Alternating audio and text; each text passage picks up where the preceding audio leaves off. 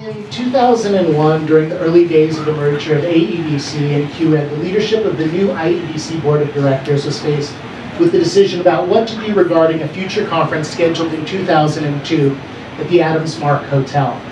The NAACP had accused the hotel chain of systemic discrimination against African Americans, and there was a boycott against the chain.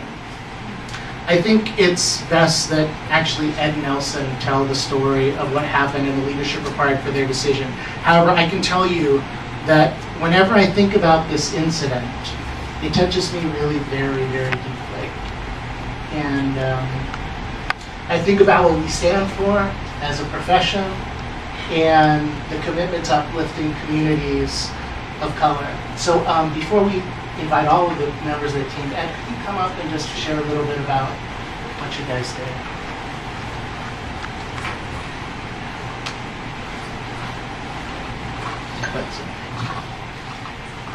Good evening. Uh, I think the first thing I probably need to do is maybe set the stage. Um, I was brought up in a segregated society in Georgia. So what I'm about to tell you uh, was rather emotional for me when it happened. But I think it was important because it was at a time when two organizations were two different cultures coming together. I think it was important because what it showed me that this organization, IEDC, was going to work. And that's, that's the important thing. Um, Jeff Finkle asked me uh, to meet with my fellow African Americans to discuss the situation and come up with some, uh, some reasonable decision on what the organization could do or sh should do. So we convened a meeting in my room. It was Ronnie Bryant, he's here. Bill Best, he is not present. It was Bob King, myself, and I think it was one more guy. That was it? And of course, um, Jeff asked me because I was the first African American chair of, of, of, our organization. So I guess he thought I would come up with a reasonable idea because the penalty was serious. Uh, if we did not go to the Adams Mark, we canceled the, the event. So um, I told the guys that there was no way, coming from Georgia, being a part of the civil rights period during that time, that I could cross that line. But I'm not going to tell them what they should do. You have to make up your own minds. We'll discuss it, come to a consensus, but whatever the consensus you know, will be, I can't cross that line. So we decided to go back downstairs and each person spoke about why they, what they thought. And we had a consensus that we weren't going to cross the line. And I told Jeff that I would have to contact every African American that I know to not cross the line.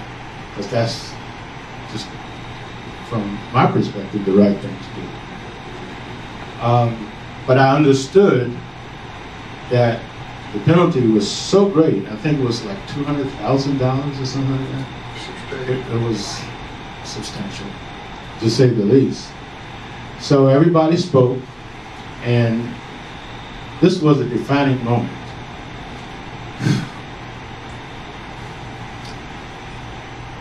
I get emotional about it because Kurt Chilcott stood up, and Kurt was the co-chair along with Jim Griffin.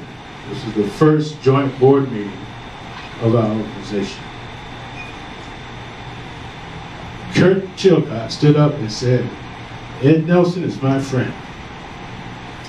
And if Ed Nelson don't cross that line, I'm not crossing. And you'll see who Kurt Chilcott is in a second. He's a white guy from California. And then, to my surprise, now there's two organizations, first board meeting 13 years ago, to my surprise, another guy from California stood up and his name was David Spaur. And David said, I'm not crossing it. Wow. So just think how I felt. At that point, I knew this organization was going to work. Then Jeff said, well, can you work with the NAACP and see if we can get this thing settled?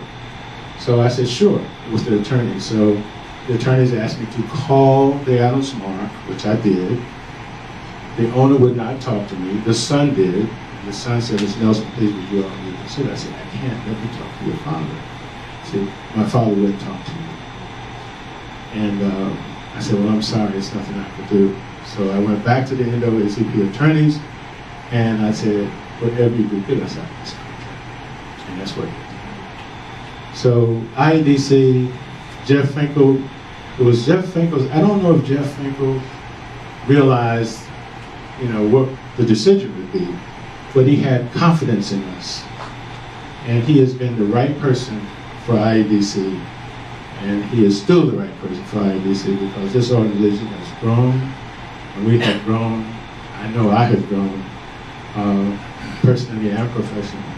And I love these guys who are going to come up here with me right now, please.